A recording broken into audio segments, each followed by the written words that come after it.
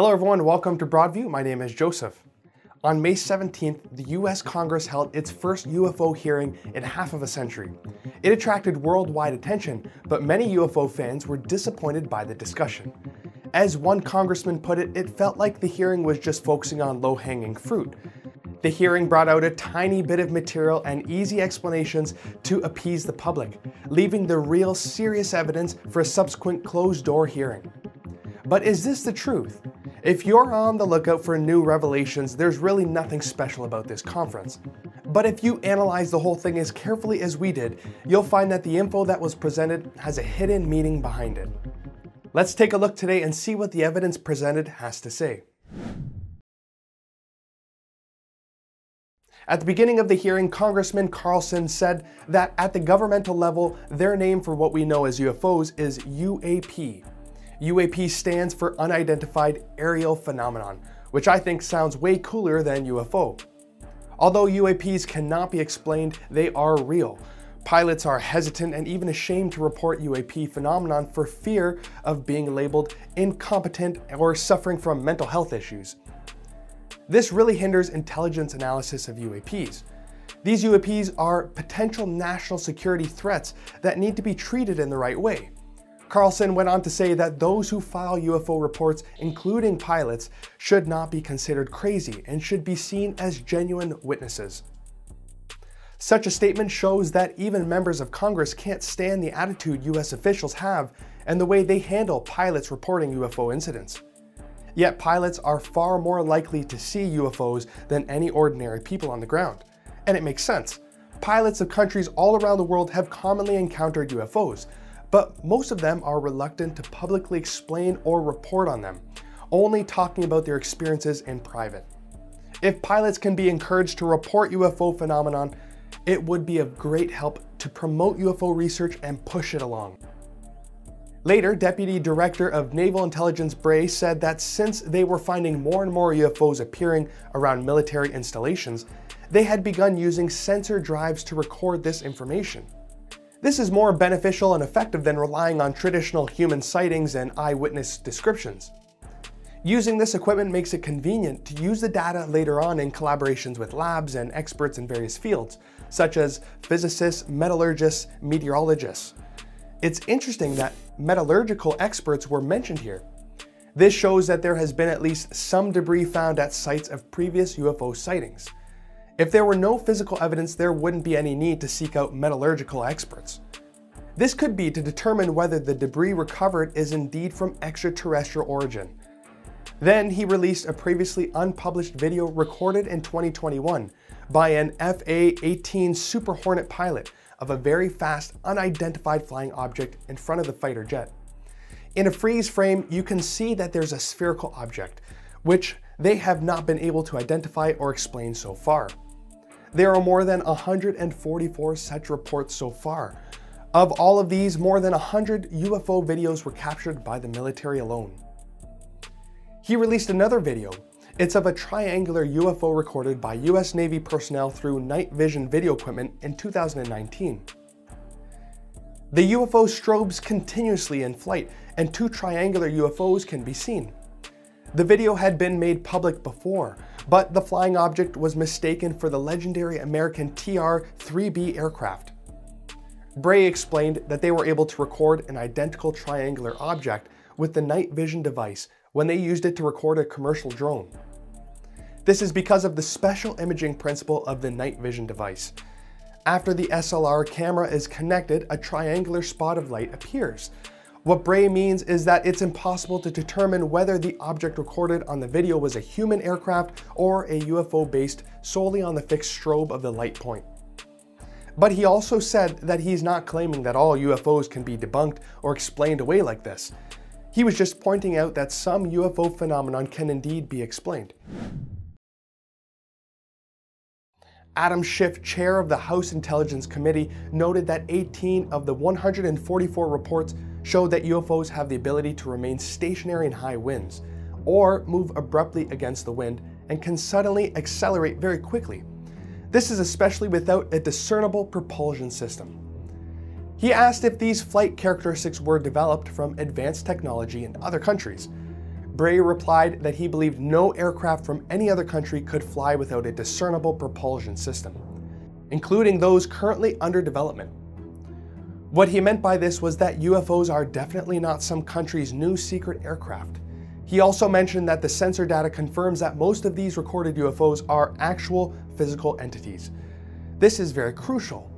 He's basically acknowledging that most UFOs are not an atmospheric or optical illusion, nor are they projections from other dimensions. They are real solid objects. So if a UFO is a tangible object, then it can crash and leave debris to be collected. This perfectly coincides with the clue of metallurgical experts' involvement mentioned earlier.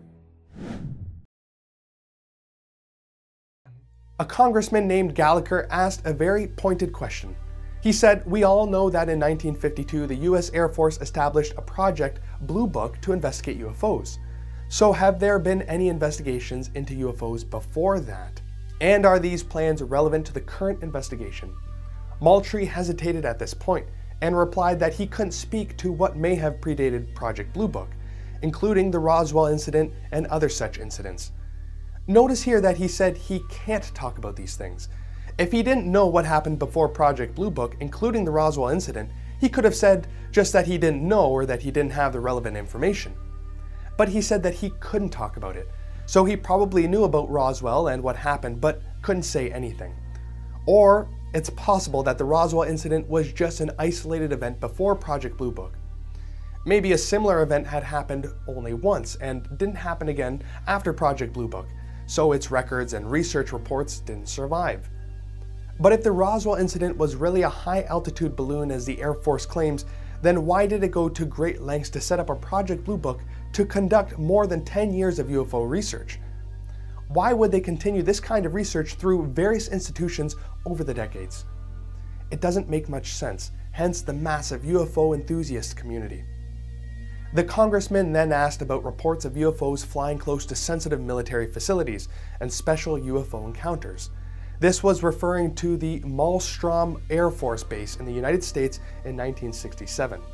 10 nuclear ICBMs were rendered inoperable after encountering a UFO. All 10 ICBMs were fitted with nuclear warheads. Rumors of this incident spread within the US military, but it's never really been confirmed.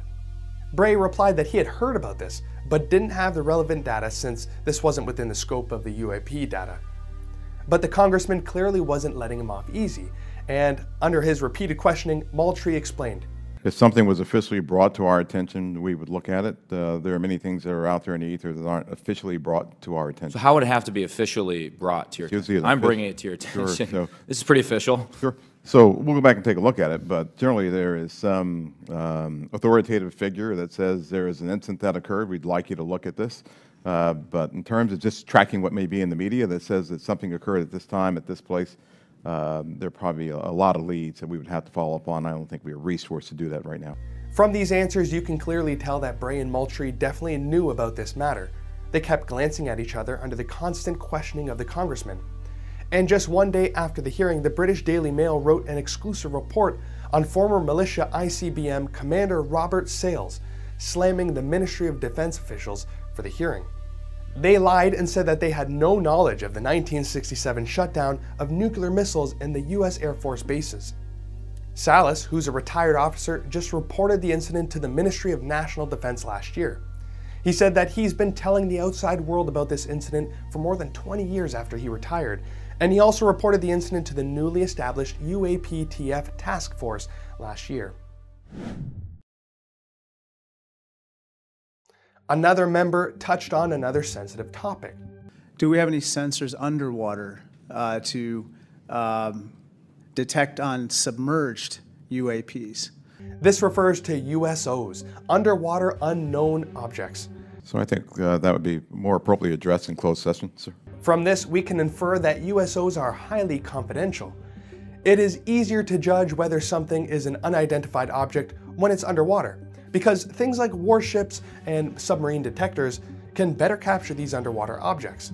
So USOs should be key to the later closed door meeting.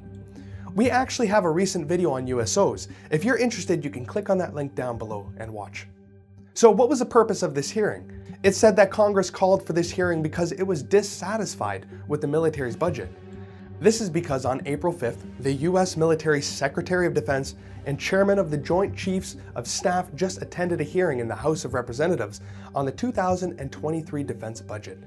The budget is a record high, and some of it must include UFO research institutes under the Ministry of Defense. It's estimated that the budget of this branch will be significant. So, this hearing is a routine accountability of Congress to the military, just this time about UFOs. I will say that all the content of today's video only represents my personal opinion and is for reference only. When it comes to things like UFOs and aliens, what will come will always come, no matter human beings' curiosity or fear. So we might as well face the facts and study them with a more open mind. Doing so may instead help us to find a better response from alien life. Would humanity be ready to openly accept this discussion, and how might we handle its full disclosure? Perhaps in our lifetimes, we will see it unfold and become more mainstream.